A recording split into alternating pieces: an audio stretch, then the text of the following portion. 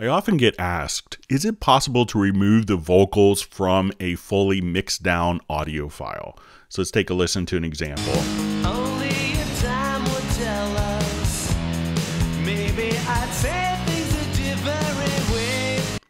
So here we could hear guitar, drums, bass, and vocals. So if we wanted to remove the vocals from this recording, we could use a tool called SpectraLayers. And when you have Cubase Artist, Cubase Pro, or Nuendo, you get a version free with your license called SpectraLayers 1. There's also an advanced, more advanced version such as SpectraLayers Elements and Pro, which are sold separately.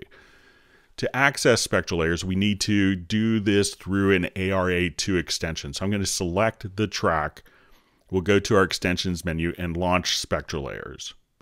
When we do this, we can see that the view changes of our audio waveform. And what we're seeing is more of an frequency based response. So at the bottom, we see the low frequencies. We can see the high frequencies and the mid range frequencies here. So instead of looking at it as a traditional audio waveform, we see kind of a frequency spectrum.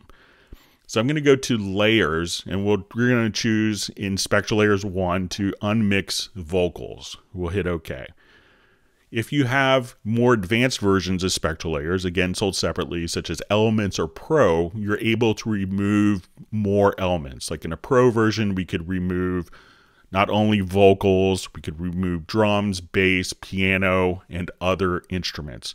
But again, with this SpectraLayers 1, it comes with Cubase Artist, Pro, and Nuendo. We could unmix the vocals.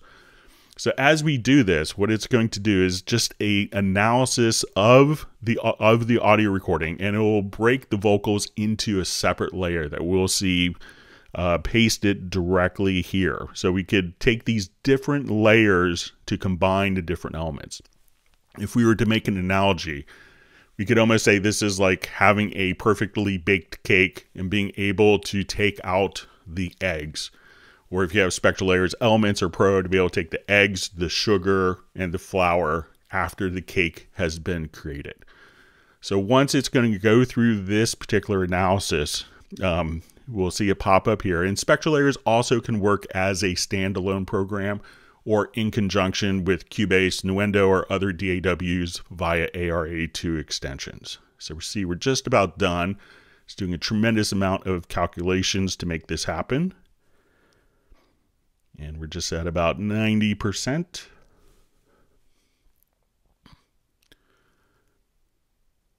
This is kind of a full length pop song, so about four minutes.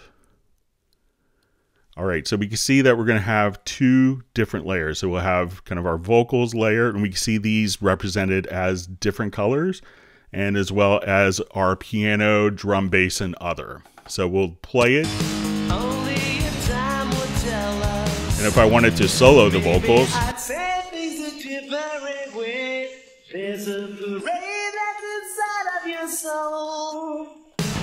or if we wanted to mute,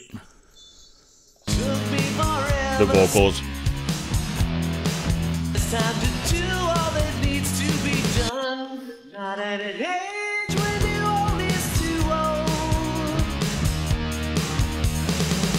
Now, if we wanted to remix this and set different levels, what we could do now is just drag from this layer here, from SpectraLayers, and drag it into our project window. And at this point, when we go to listen to it, we can now So if I wanted this to be louder or softer in the mix, like you get a mix and the vocals aren't loud enough or they're too loud, we can remix.